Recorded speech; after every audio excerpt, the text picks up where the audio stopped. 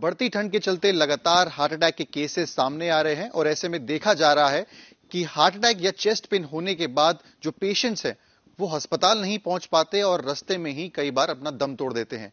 ऐसे में कानपुर के एलपीएस कार्डियोलॉजी, जो कि उत्तर प्रदेश का सबसे बड़ा हार्ट हॉस्पिटल है, उन्होंने एक किट तैयार करी है जो लोग अपने पास रख सकते हैं और अगर उन्हें चेस्ट पेन या हार्ट अटैक होता है तो उस किट से दवाइयाँ तुरंत मौके पर लेके अपनी जाँच बचा सकते हैं। इस बार बात करने के लिए हमारे साथ मौजूद है डॉक्टर नीरज कुमार, जिन्होंने किट तैयार की है। कितने की ये पूरी किट है? क्या क्या इसमें दवाई है? इस पर बात करेंगे। सर, ये जो किट मैं देख रहा हूँ आपके सामने पड़ी हुई है, मैं आपको दिखा भी दूँ कैमरा पे, ये राम किट नाम से जो है, वो ये पूरी तैयार की गई है। इसमें इकोस्प्रिन और रोस्टोटिन जैसी कई दवाइयाँ हैं जो रखी गई हैं। सर, कितना प्राइस है इसका? कितने रुपए में तैयार हो जाती है? और क्या उद्देश्य था इसको तैयार करना? ये इस एक किट की कीमत साढ़े पाँच, छह, सात रुपए। इससे ज़्यादा इस एक डोज की कीमत नहीं, इस एक डोज की कीमत नहीं है। इसमें दवाइयाँ बहुत सस्ती हैं। पैंतीस पैसे की इकोस्प्रिन की दो गोलियाँ हैं, अस्सी पैसे का सॉर्बिट्रेट है और साढ़े तीन, चार रुपए का रोजवास्टेटिन का एक टैबलेट है। ये एक खुराक होती है इसको लोडिंग डोज के नाम से जाना जाता है मेडिकल लैंग्वेज में। कोई भी पेशेंट जब चेस्ट पेन लेके किसी भी इमरजेंसी में जाता है तो सबसे पहले उसको यही तीन दवाई दी जाती हैं उसके बाद उसकी जांचें या आगे इलाज को बढ़ाया जाता है। तो इसी को बना के हम लोगों ने ये किट तैयार की है। इन जो यहाँ पे इस किट में दवाइयाँ मौजूद हैं क्या यही दवाइयाँ आप लोग पेशेंट जब यहाँ पे हॉस्पिटल आते हैं हार्ट अटैक की वहाँ पे भी देते हैं? एग्जैक्टली exactly, ये वही सेम दवाइयाँ हैं। और ये ए, कुछ नया नहीं है ये जब से कार्डियोलॉजी का ट्रीटमेंट एमआई का ट्रीटमेंट स्टार्ट हुआ है, ये तब से ही दवाई प्रचलन में है। बस ये है कि आजकल जिस तरह की समस्याएँ बढ़ती जा रही हैं, अचानक से रोज कुछ ना कुछ सुनने में आता है कि वो वहाँ पे कुछ स्पीच कर रहे थे तो एक्सपायर हो गए हैं, कोई डांस कर रहा था तो एक्सपायर हो गया, एक नमाज़ पढ़ते हुए एक्सपायर हो गया ट्रेन में एक्सपायरी हो गई है। तो इसको देख एक बड़ा ही इस पर विचार किया गया कि इसमें के बारे में क्या किया जाए। तो ये हुआ कि क्यों ना इस लोडिंग डोज को एक जनमानस को उपलब्ध करा दिया जाए इजीली लेवल पे।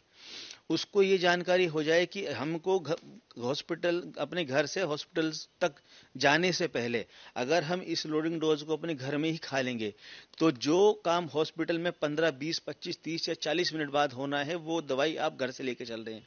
तो हो सकता है आपके हॉस्पिटल आते आते आपकी समस्याएँ भी समाप्त हो जाए। ये बहुत ही महत्वपूर्ण है। मैं अपने जो लोग हैं, जो आम लोग हैं, जिनको नहीं पता होती चीज़ें, उनके लिए आपको रिक्वेस्ट करूँगा कि समझाने पाए कि दो दवाइयाँ हैं, कौन सी हैं और कैसे उनको खानी है और अगर उनके साथ कोई किसी तरीके की अनहोनी होती है, हार्ट अटैक आता है, चेस्ट पेन जी, देखिए, इसमें तीन दवाई होती हैं। हम सभी लोग जानते हैं कि जब हार्ट अटैक होता है तो हार्ट की जो नसें होती है, वो ब्लॉक कर जाती हैं। उसके अंदर खून के थक्के बनने लगते हैं। उसकी वजह से हम लोगों को हार्ट अटैक होता है। तो उसको रोकने के लिए दो गोली इकोस्प्रिन की एक साथ खानी होती है। ये ब्लड थिनर है, जो खून का थक्का बन रहा है, उसको रोकती है, उसको बनने नहीं देती है। दूसरा जो टैबलेट है, ये रोजवास्टेटिन का है। इसको सामान्य भाषा में अगर हम बात करेंगे तो कोलेस्ट्रॉल कम करने की दवाई होती है। ये उस थक्के के प्रसार को रोकती है।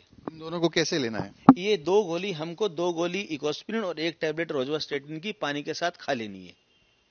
तीसरी जो दवाई है, वो सॉर्बिट्रेट आइसोडिल होती है। इसको खाना नहीं होता है। इसको जीभ के नीचे रख के हमको चूसना है। उससे फ़ायदा ये होता है कि अगर हम खाते हैं तो दवाई पहले हमारे पेट में जाती है और फिर ब्लड में जाती है। चूसने से ये दवाई सीधा आपके ब्लड में ही जाएगी। तो ये एक इंजेक्शन की तरह काम करता है। जैसे इंजेक्शन हम लोग सीधा ब्लड में देते हैं तो ये इंजेक्शन ही एक तरह का। तो जैसे ही हम इसको खाते हैं, ये तुरंत असर कर देती है और ये इसका काम होता है कि जो हृदय की जो नसें सिकुड़ गई हैं, जो ब्लॉक हो गई उनको खोल देगा। तो जो ब्लॉकेज आया था, वो ऑटोमेटिकली उसके खुलने की वजह से कम हो जाएगा और खून का भाव दोबारा शुरू हो जाएगा। मैं देख रहा था, इसमें आपने जो किट का नाम है, वो राम किट रखा है। राम किट के पीछे रखने के नाम के पीछे क्या उद्देश्य है? देखिए, इसके पीछे कई सारी चीज़ें हैं। पहली चीज़ तो प्रभु राम सबका एक जो हम लोग की आस्था है कि जब कुछ भी गलत होता है तो ईश्वर बचाएँगे। तो एक तो वो। दूसरा, इसके पीछे जो सबसे बड़ा जो मोटिव है, वो मोटिव है कि जो गाँव देहात का इंसान है या जिसको नहीं मालूम है। अब कोई व्यक्ति कहीं जाता है तो वो बोलेगा कि हमको वो वाली दवाई दे दीजिए जो हार्ट अटैक में यूज़ की जाती हैं।